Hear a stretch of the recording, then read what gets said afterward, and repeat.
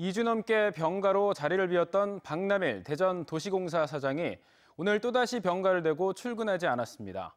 대장 치료를 받기 위해서라는데 입원한 병원을 직접 찾아가 봤더니 병실 문을 잠가 놓은 채 외출한 사실이 취재진에게 단독으로 확인됐습니다. 이재공 기자입니다. 지난달 27일부터 2주째 병가로 자리를 비웠던 박남일 대전도시공사 사장. 지난주 유성복합 터미널 사업에 대한 감사 결과 대전시가 박 사장에게 경고 처분을 내리면서 이번 주 출근할 것으로 알려졌지만 또다시 병가를 내고 모습을 드러내지 않았습니다.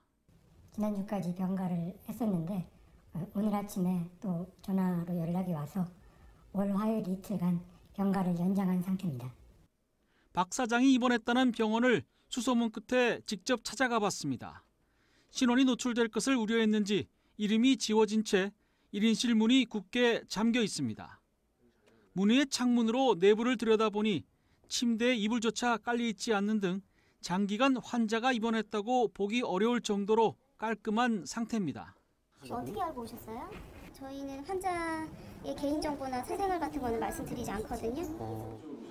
도시공사 노조는 3주째 병가를 내고 자리를 비운 공기업 사장이 사실상 나이롱 환자 행세를 했다면 명백한 해임 사유라며 비난하고 나섰습니다.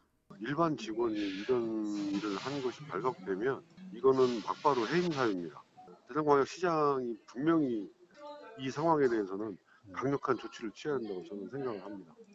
올해만 35일에 유급 병가를 내고 급여를 꼬박꼬박 챙긴 박남일 사장에게 지급된 연봉은 1억 원에 이릅니다. TJB 이재곤입니다.